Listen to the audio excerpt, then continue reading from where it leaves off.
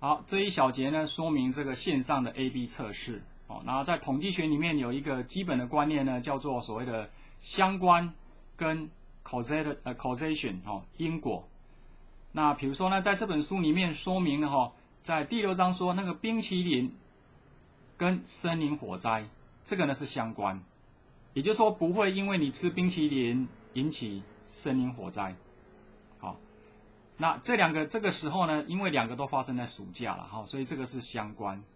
那但是呢，如果你要了解因果呢，就要做实验。好，那一般的方法呢，就是用所谓的控制组跟对照组。好，比如说你在做药物实验的时候，这个有一组呢，控制组呢就给他吃哦，比如说这个你现在拔牙，然后这个研发出一种新的这个所谓的止痛药，然后你就给那一组人吃止痛药，然后他的对照组呢给他吃。所谓的这一个这个维他命 C，比如说，哦，所以呢，在随机取样的过程中，哦，你就可以确定这个变因呢是来自于你给他吃不同的药，然后呢得到不同的效果，以便验证说啊你做的这个药到底有没有效果，哦，这个是蛮常用的一个方法。那在网络的世界里面呢，这个所谓的测线上测试，就是说呢，这你顾客到你的网站来。那你为了优化你的这个网页哦，然后消费者的体验，那现在有非常多的公司利用说你来呢，根据不同的客群随机取样，然后给他看不同的网页，然后呢，你去比较呢哪一个网页呢，你的顾客的 click rate 就是你的点选按下去的这个比例呢会比较高，在这个例子里面比例越高越好，所以是七十二趴，所以呢我们。以后的这个网页就要设计成这个样子，哦，代表说，哎，这个颜色，哦，在这个例子里面呢，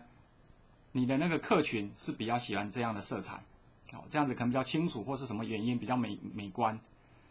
好，所以这个呢是蛮常用的一种方法，好，那后面当然有一些统计学的这个分析。那这个有更多的这个例子，哈，这个是在这个台湾的一个这个这个杂志叫做《商业周刊》，这个订房。网呢，这是一个网，这个网站，啊，它里面呢有这个一千八百个工程师，然后每一天，好，做一千次的 A/B 测试，做不同的这个这个改版，然后哎，到底哪一种网站或是哪一种网页，这个你的客人会比较喜欢，啊，当然这个有进一步的资讯哈，那这个基本上呢有有这个这个是比较一般化的啊，这三位呢都是在这个美国的这个。这个电子商务公司这个上班哈，所以他们有非常多实战的经验哈啊这一本的书呢是比较理论一点啊，有非常多后面这个非常多的数学分析哈，那这个很多的课程都是在研究所，那还是跟一样哈，我这个老师跟你讲这些是说让你知道说资讯工程呢它的应用范围哦其实非常的广泛，当然啦，这后面有非常多的这个数学好，那我我强调了。这个呢是看你从事的工作，那有一些这边的这个内容呢，可能是硕博士哦才会念到哦，所以不用担心。